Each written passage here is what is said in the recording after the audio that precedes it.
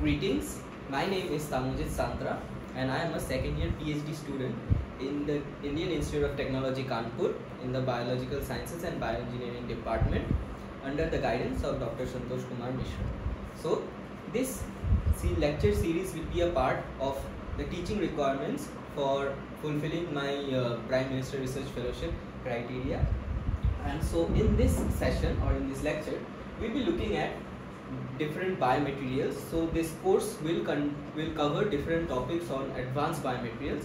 But so in this introductory session or class, we'll be talking about biomaterials in general, their properties, their uh, examples, their classifications, and the important considerations which we one needs to keep in mind while uh, choosing any biomaterial based device for a particular application.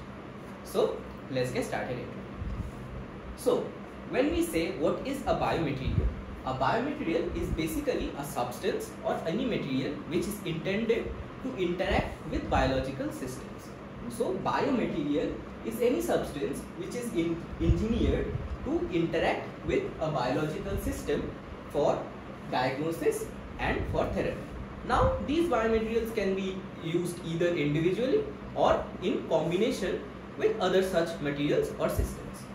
So there basically if we want to summarize just a biomaterial is any material which is intended for uses in direct combination with biological systems.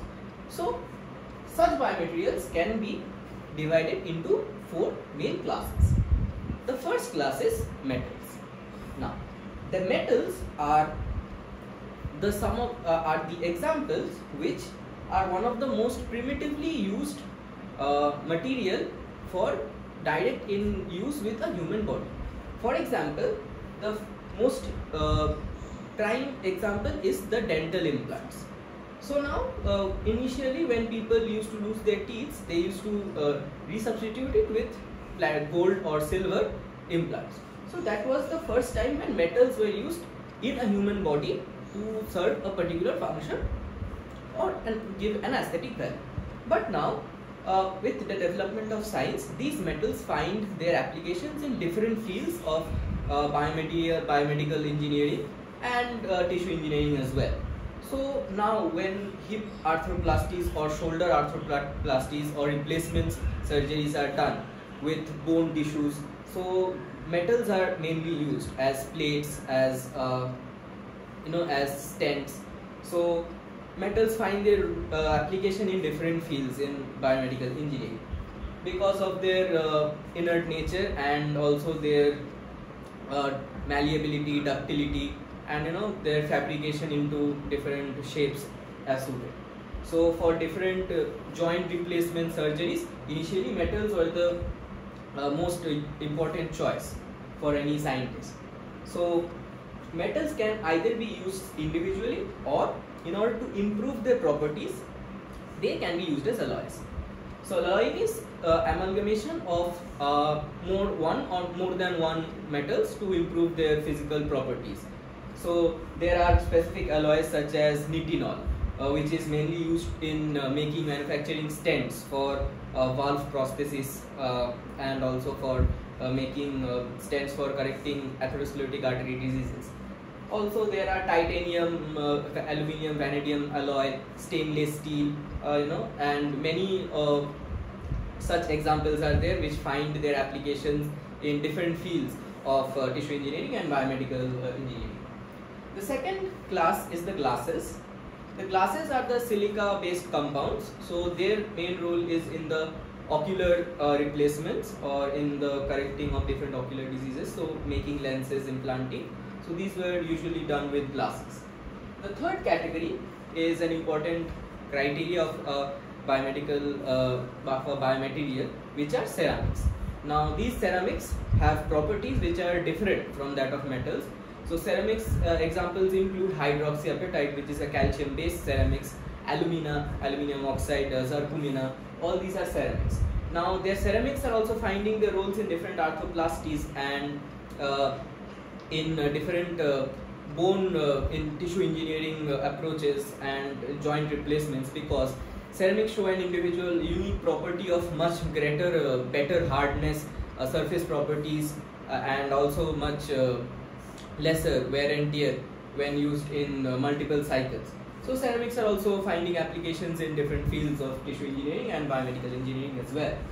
And finally, one of the most important classes of biomaterials which are coming into light uh, are or have been used for quite some time now since are the polymers. Now these polymers are a class of materials which have very unique properties. So polymers are basically repeating units of a particular material or an analyte uh, of, a, of a material uh, which can be natural or synthetic. Natural polymers examples include collagen, uh, starch, cellulose, chitosan, uh, and many others. The, all the protein-based uh, uh, polymers are the natural types of polymers, such as silk, fibroin. All these polymers are natural and uh, the various types of synthetic polymers include the uh, polyvinyl alcohols, the the poly-N-isopropyl acrylamide, and the acrylic acid based polymers, and many such polymers exist. Now, with using polymers in, in combination with each other, it is possible to fabricate different types of composite polymeric systems with uh, different properties which can be tailored to suit a particular requirement in tissue engineering uh, approaches. So after looking at uh, these examples, so now if we try to make a working definition of what a biomaterial is, so it would uh, summarize as a material which is intended to interfere with interface with biological systems to evaluate, treat, augment or replace any tissue, organ or function of the body. So after this, uh, where are what are the different fields in which these biomedicals can find their applications. So uh, these biomedical uh, biomaterials can be used for fabricating different uh, devices uh, or different uh, com- com- composite materials for their roles in hip joint replacements such as the shoulder joint, the hip joint replacement surgeries, the arthroplasties, bone tendon and ligament repairs, dental implants and dental fixatures, uh, then the heart valve prosthesis, the valve, uh, the vessel uh, prosthesis as well. So different skin repair templates which we'll be looking at in great detail when in the upcoming lectures. So there are many such examples where these biomedical uh, biomaterials can be used to fabricate. So if we discuss one particular example such as uh, a skin repair uh, device. So this would essentially uh, imply uh, a system which can actually you know consist of two composite polymers now they can be natural such as type 1 collagen and chondroitin 6 sulfate to provide the two layers for the dermis and epidermis repair and they can also be fabricated in form of a scaffold which is a three dimensional uh, mesh like network structure a cross-link structure with which has pores for migrating uh, migration of different cells when they can be seeded with it. So basically what it is done is after fabricating that scaffold they are seeded with cells. These cells are mainly the fibroblasts. So after seeding with the cells they are taken and implanted into an area with a large skin damage such as a third degree burn where a patient loses a lot of the dermal tissue and the normal healing process of such tissues are very difficult. So in such cases uh, these uh, scaffolds which are composed or which are uh, fabricated using these desirable biomaterials are very advantageous and have provided a new direction in tissue engineering for the healing of uh, many such uh, conditions which are would have been otherwise uh, very fatal to the patients or would, which would have had a very low survival survivability rate among other medical interventions. So with this we just finish the applications of biomedical devices and in the upcoming lectures we will be looking at the most important uh, factors or the criteria for the choice of a biomaterial of a biomaterial for a particular application. So for today that will be all. Thank you.